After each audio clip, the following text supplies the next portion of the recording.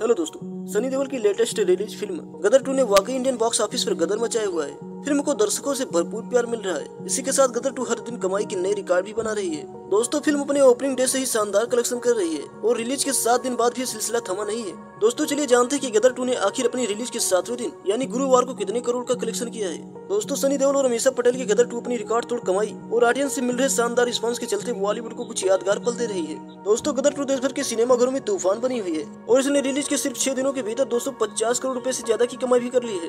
दोस्तों यह फ़िल्म के रिलीज़ के सातवें दिन, यानी गुरुवार की कमाई की शुरुआती आंकड़े भी आ गए हैं। दोस्तों, साइकिलनी की अर्ली ट्रेंड रिपोर्ट के मुताबिक, सनी देओल की फ़िल्म की कमाई में सातवें दिन गिरावट आई है। गदर टू ने सातवें दिन 22 करोड़ रुपए का कलेक्शन किया है। दोस्तों, गदर टू की कुल कमाई अब दो सौ तिरासी करोड़ रुपए हो गई है।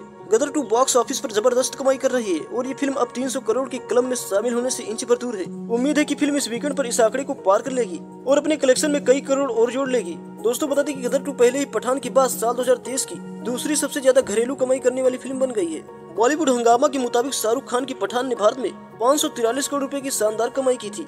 वहीं गदर टू ने बॉक्स ऑफ़िस पर hit the hit Kerala story के लाइफ टाइम कलेक्शन को भी पीछे पछाड़ दिया है, जिसने 242 करोड़ रुपए कमाए थे। तो दोस्तों, आज की इस वीडियो में बस इतना ही। उम्मीद करता हूँ कि आपको आज का वीडियो पसंद आया होगा। तो अगर आपको आज का वीडियो पसंद है तो इस वीडियो को लाइक कीजिएगा। और अगर आप सनी देओल के फ़ैन हैं तो कमेंट में ज़रूर बताइएगा। तो चलिए, आज का हमारा वीडियो भी पर संपन्न होता है। हम फिर मिलेंगे किसी नई वीडियो में, किसी नए टॉपिक के साथ। तब तक के लिए जय हिंद, जय भारत।